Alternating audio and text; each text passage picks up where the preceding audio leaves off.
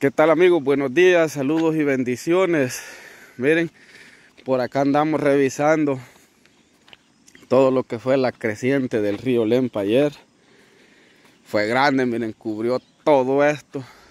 Aquí se puede ver el montón de, de basura que dejó acumulada. Da un poco de tristeza ver tanta llanta.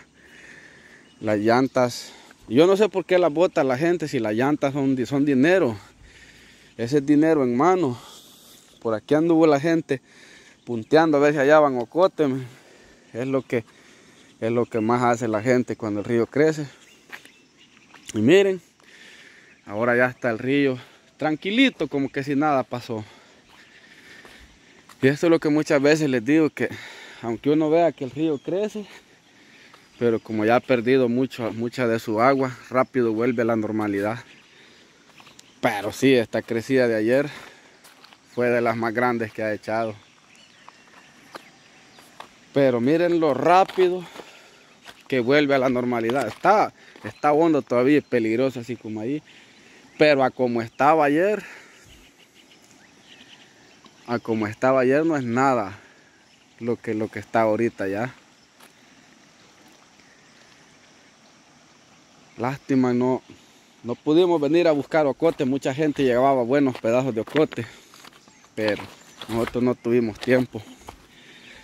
Ayer en la tarde no se imaginan qué día, el resto de tarde el que pasé yo. Les digo que ayer sí fue de los días más feos de mi vida.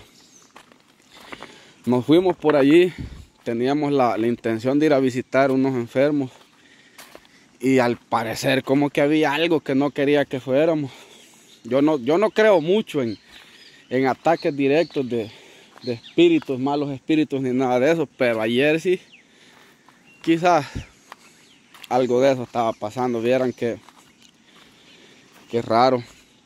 Quedamos de ir a tocar, a visitar unos enfermos con, con, el albañil, con el maestro de obra que trabajamos allí. Él toca, yo también toco. Le dije, llevémonos la guitarra y el requinto. Y vamos a ver si, si le podemos llevar un poquito de, alegría a algún enfermo, hay varios enfermos aquí en, la comunidad ahorita. y pues nos fuimos. Y pues comenzando a tocar, me agarró un fuerte, mal de orín a mí, que la gente, la gente que, que padece de mal de orín o problemas en los riñones saben que eso es horrible. Y bueno, le dije a mi amigo, me voy a tomar una pastilla y luego nos vamos estábamos ensayando. Pues me tomé una pastilla y comenzando a tocar ya en la casa del enfermo, comienza a agarrar un fuerte vómito. Y, yo sentía como que algo nos decía, no, es que no van a tocar. Y yo le dije que no importa, aunque sea como sea, yo voy a tocar, aunque sea unas alabanzas y luego veré qué hago. A como pude, cantamos unas siete alabanzas, pero yo estaba mal. Y yo le dije a mi, primo, bueno, le dije, yo me voy, le dije, si quiere quédese usted porque ya no aguanto el vómito. Y cuando venía en la moto, venía algo rápido por llegar ligero.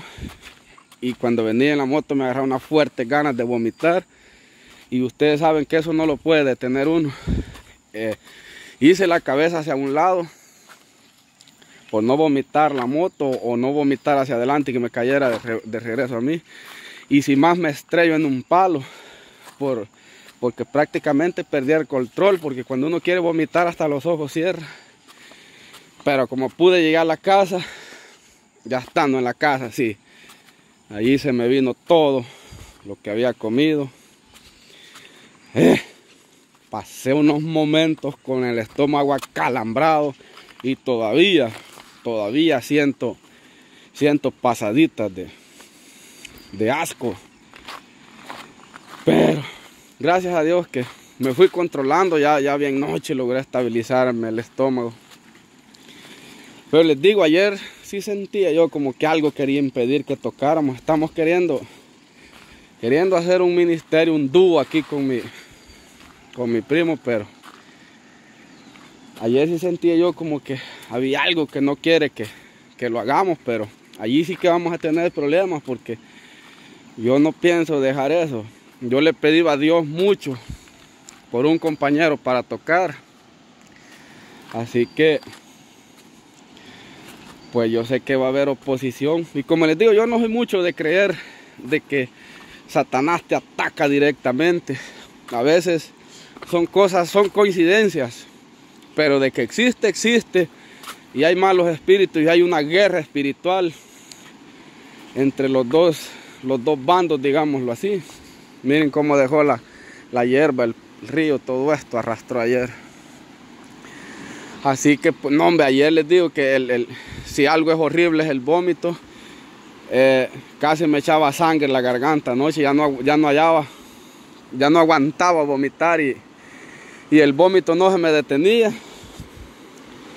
Gracias a Dios que mi mamá pues sabe de hierbas, sabe de conjunciones de hierbas ahí para, para evitar eso y ella me, me hizo unos menjurjes buenos. Pero lo que más te afecta cuando vomitas es que te pones muy débil. Te pones muy débil porque pues tiras todo lo que has comido. Ya no aguantaron los palitos, se los llevó el río. Así que bueno, hoy somos, mañana no somos. Un fuerte vómito te puede llevar a una deshidratación severa y de eso te puedes morir. Yo por eso siempre he dicho que vamos a vivir hasta cuando Dios quiera. El mañana no es de nosotros, el mañana es incierto. El mañana no se escribe. Se espera con fe, pero no se asegura. Así que así está la cosa. Y es normal cuando uno quiere hacer algo bueno para Dios, fuerzas desconocidas se van a levantar en contra. Pero al ver también la cara de una persona que está enferma y necesita consuelo a través de la, de la música, les digo que se siente bonito. Ayer esta persona que fuimos a visitarla cantaba a como podía y lloraba. Y yo veía que, que daba gracias a Dios a pesar de su condición. Y esas son las cosas por las cuales a veces uno da gracias a Dios porque aunque sea una palabra de aliento a través de la alabanza, allí se manifiesta Dios. Así que, bueno, fue un día feo para mí, pero a pesar de eso, logramos alabar y glorificar al Dios de los siglos, al que vive por siempre y para siempre. Y como les digo, pues hay que orar porque dice la palabra que el diablo anda como león rugiente buscando a quien devorar y el que se descuida lo devora. Vamos a entrar a trabajar amigos, cuídense mucho. Saludos y bendiciones.